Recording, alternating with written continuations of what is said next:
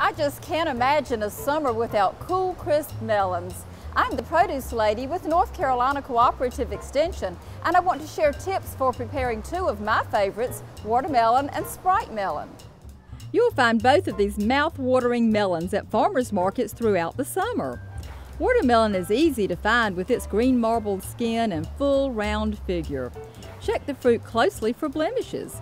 A yellow patch on the bottom is a sign of natural ripening. The Sprite melon is a relatively new crop, first bred in North Carolina. Sprites are ivory skinned, about the size of a grapefruit. Ripe melons have a sweet smell and brown markings near the stem end, an indicator of high sugar content.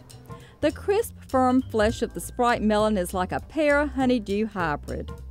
Watermelon, Sprite, and other melons, such as cantaloupe and honeydew, make a delicious summertime medley.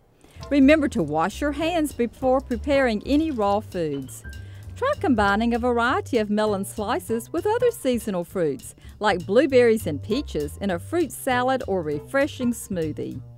Watermelon and Sprite melon aren't just great, they're guiltless. Both melons are low in calories and rich in vitamins and nutrients. Watch my watermelon and Sprite melon videos at theproducelady.org for more tips on wonderful North Carolina grown foods.